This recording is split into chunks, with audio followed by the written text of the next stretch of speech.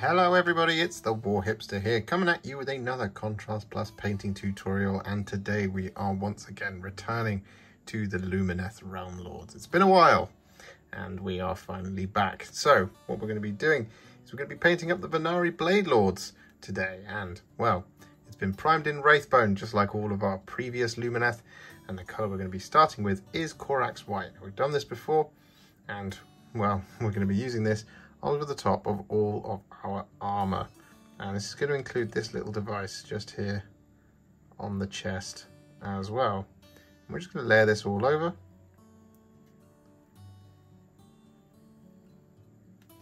Just like this. Now you might be thinking, why don't we just prime the model in White Scar? Well, these Lumineth are a tricky paint job particularly in the colours of Ymetrica. And we want to be able to correct our mistakes as and when they crop up. So the reason we don't do it with White Scar is because correcting White Scar is very difficult. Whereas correcting Wraithbone is a lot easier. It does mean that the rest of our colours get that nice warm feeling to them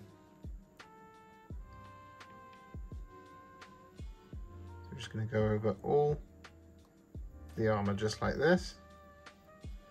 What we're also going to do is going to apply this over the top of the trousers and the undershirt as well.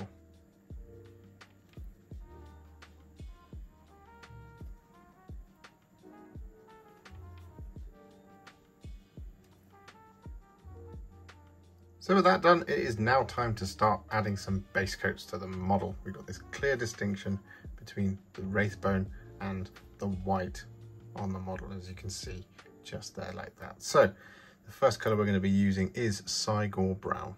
We're going to be using this on the boots and on the gloves. Nice and easy to start.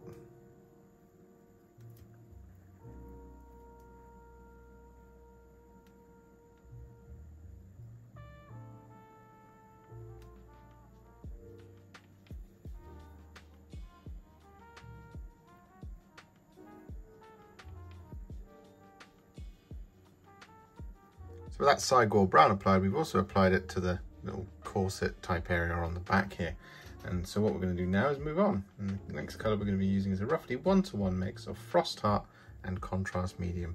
And this is going to be used on the trousers and the undershirt.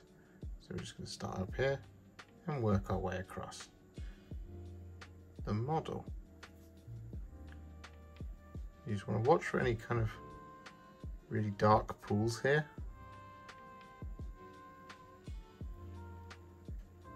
Looking for a nice clean colour.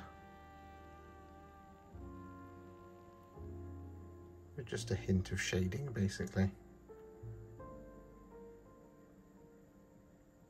And one thing to bear in mind is around here on the back, the shirt just does come round like that.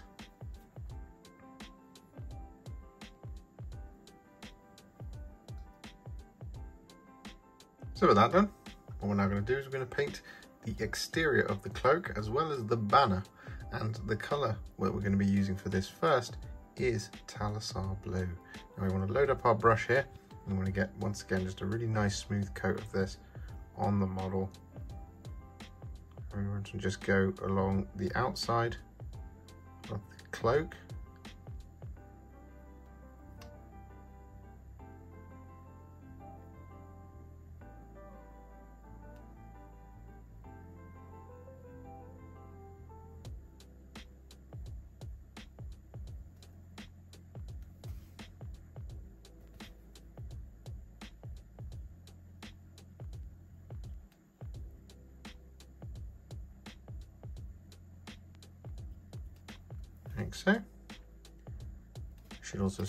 say that we're going to paint in the kind of strapping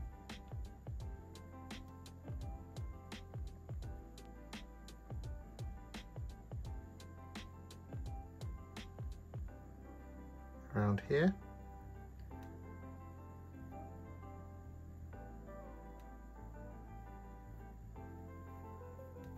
And we're also going to paint in, as I mentioned, the field on the banner on the back.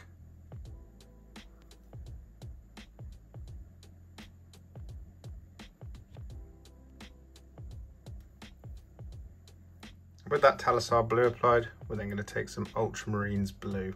I'm going to use this over the top of all of our Talassar blue details.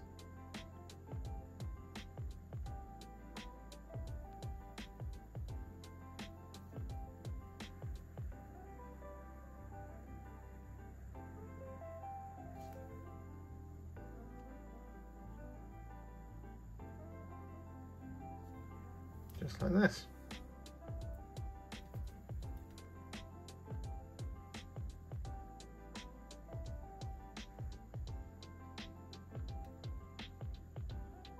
So with that done, what we're now going to do is we're going to take some skeleton horde. I'm going to apply this over the top of the inside of the cloak, but we're also going to apply this over the top of the rune on the banner.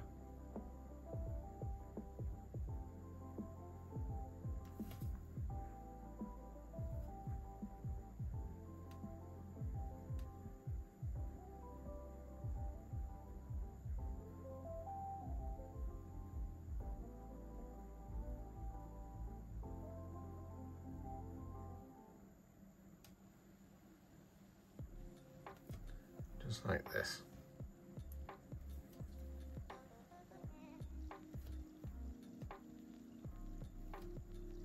So with that done, what we want to do is we want to once again use some Ultramarines blue, only this time we're going to use a very small amount. I'm going to use this to basically fill in the rune on the back banner.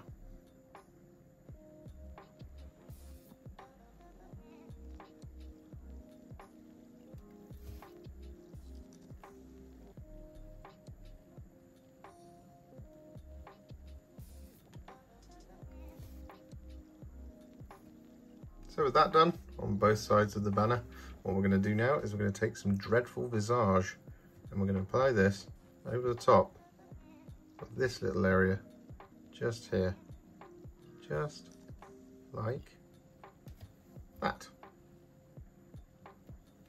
So with that done, what we're now going to do is we're going to use some Asurmen Blue.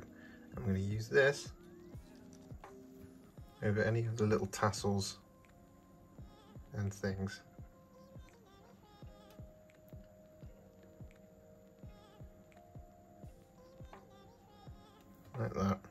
Scattered all around the models.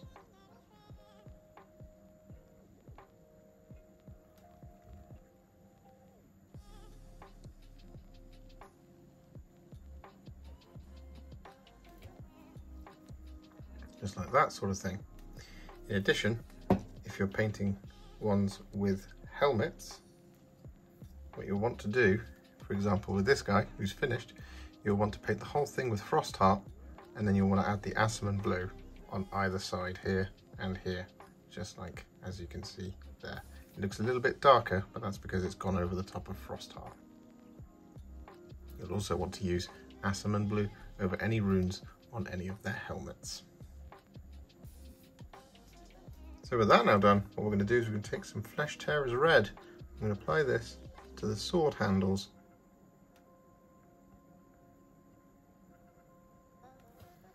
just like this.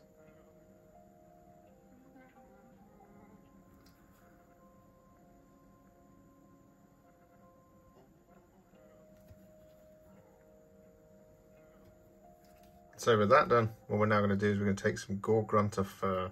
I'm going to apply this over the top of the banner pole and the sword scabbard.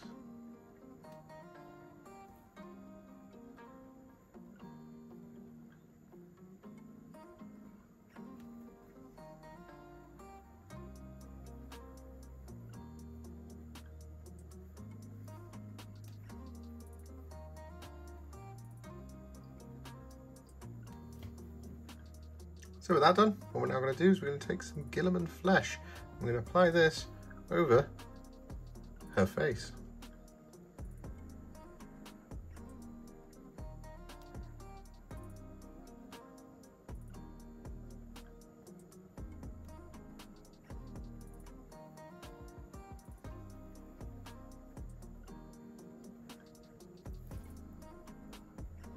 So with that done, what we're now going to do we're going to take some skeleton and we're going to apply this to the hair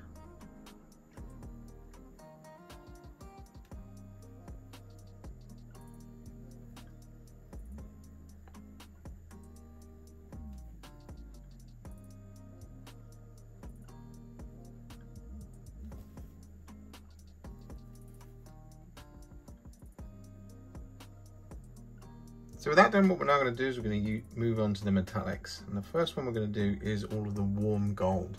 Now this is going to be all of the areas such as the top kind of rune on the banner on the back up here. We want to do the frame of the flag. And that sort of thing. We want to do the decorative features on the scabbard and on the swords.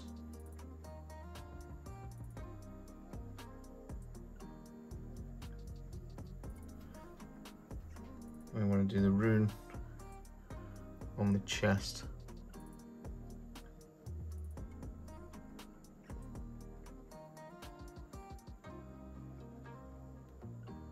So with that done, what we're now going to do is we're going to take some thinned down Liberator Gold.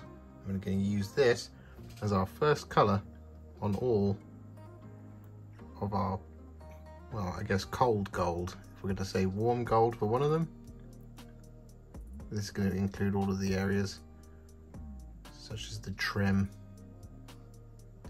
and any remaining gold metallic details.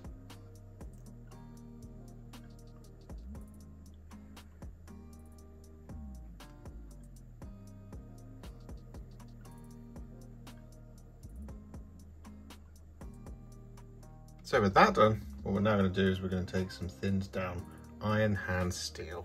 I'm going to use this to paint in the sword blades and the scale mail.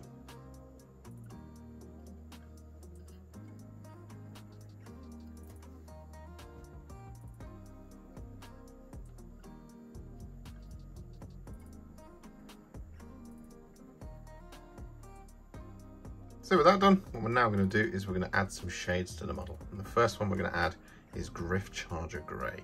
I'm going to be using this on all of the silver details.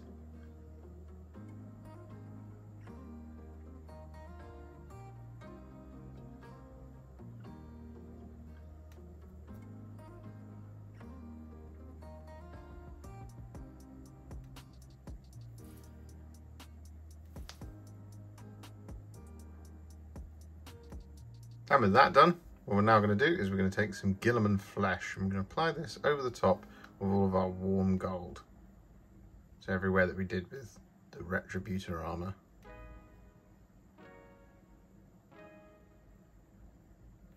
Just like this.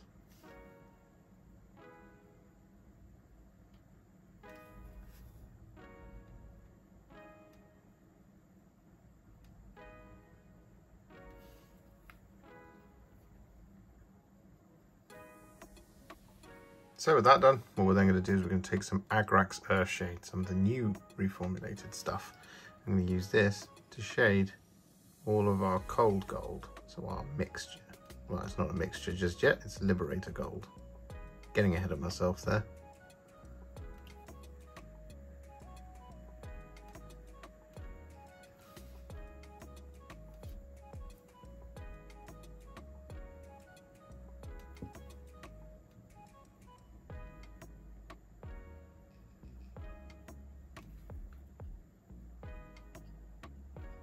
With that done, our Blade Lord is now what I would call a War Hipster battle ready. However, we are not going to leave it there. No, we are going to take them to the next level.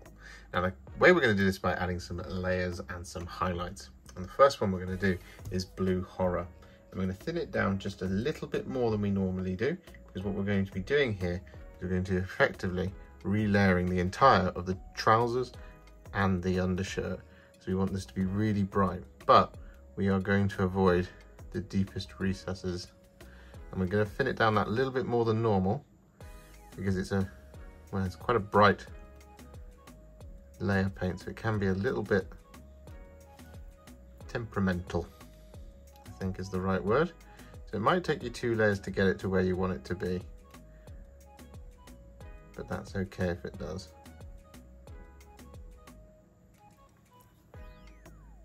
Might actually just really like it after one layer because it kind of shows through that base coat just a little bit more. As you can see on that leg, just avoiding those recesses, making that nice and bright.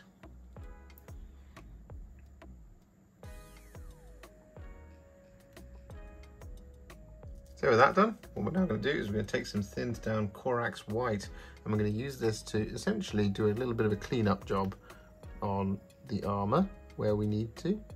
So for example, just there I was a little bit overzealous with the Agrax Earthshade on that knee pad. Just check the other one. No, I think we're all good. Got a little bit of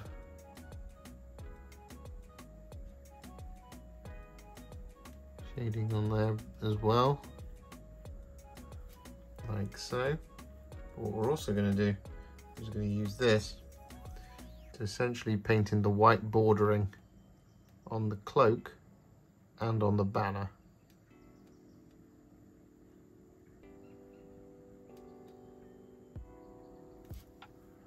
Just like that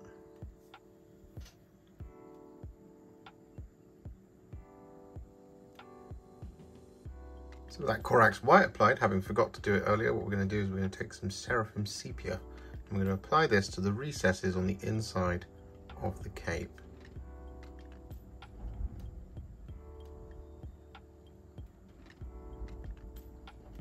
Just like that.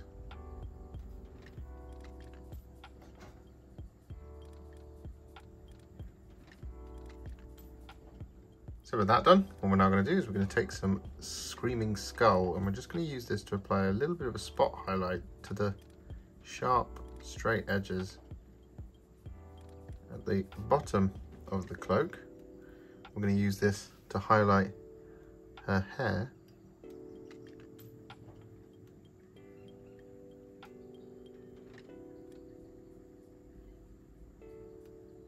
like that sort of thing. And we're also going to use this to add just a little tiny highlight to the top.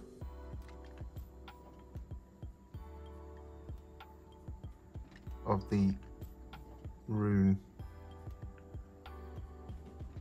Just around there like that sort of thing.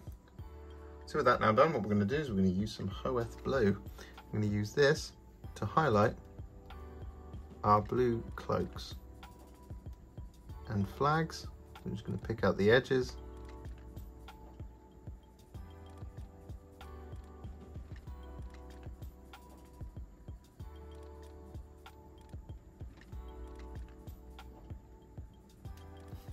Like this. We're also going to do this on the darker blue ribbon and things like that.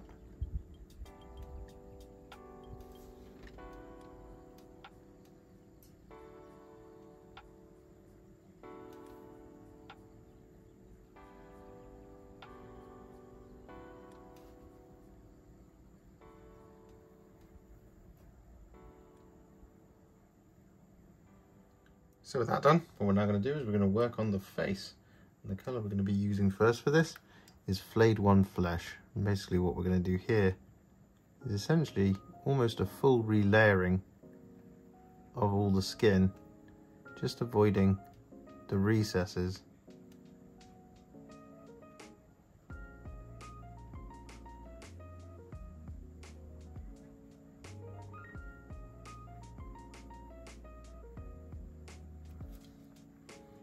like this.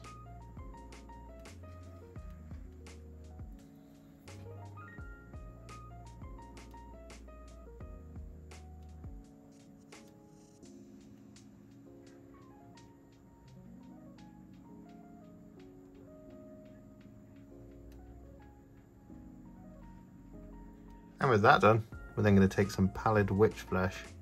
I'm going to apply this as our little spot highlight sharpest details.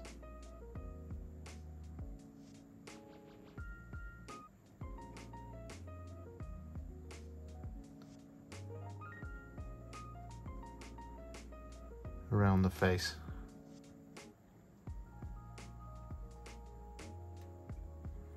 Just like this. And so with that done, what we're then going to do is we're going to take a tiny amount of Black Legion. I'm going to apply this over the top of the eyeballs.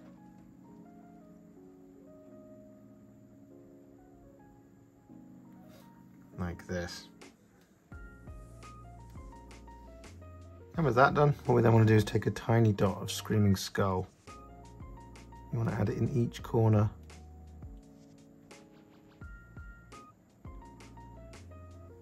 of the eyes. Like that. So with that done, what we're now going to do is we're going to move on and we're going to start highlighting up all the metallics. And the colour we're going to be using first is a roughly two part Stormhost Silver to one part Retributor Armour mix. We're going to be using this to highlight all of our cold gold.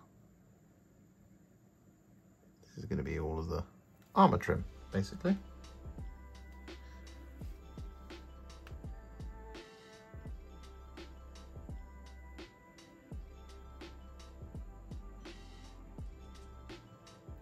So with that done, what we're now going to do is going to move on to the silver.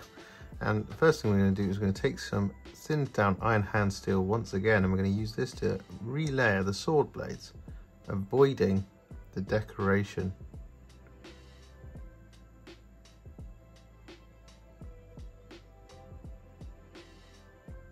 along the length of it.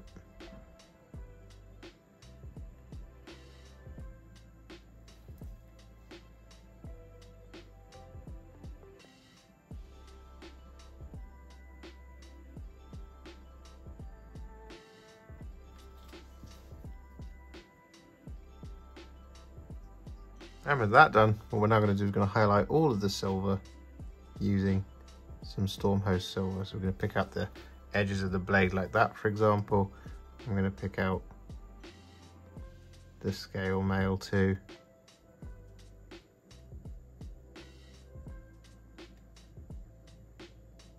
Just like this. So with that done, what we're now going to do is we're going to use some thinned down Liberator Gold. And we're going to use this to highlight all of our warm golds. This is the areas that we just painted with Retributor armor.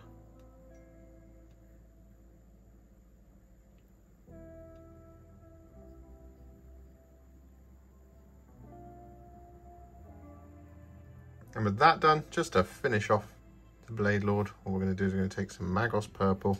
I'm going to apply this over the top of the gems on the sword hilts.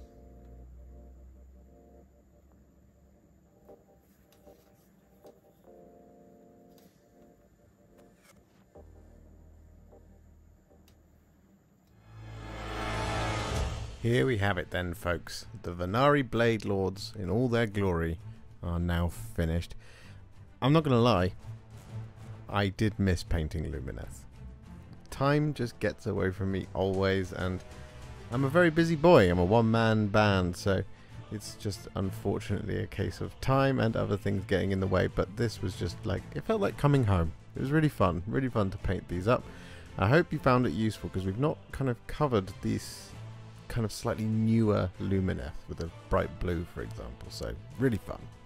If you enjoyed this video, you love the channel, and you want to support me further like these legends and bosses on the screen before you, you can do so.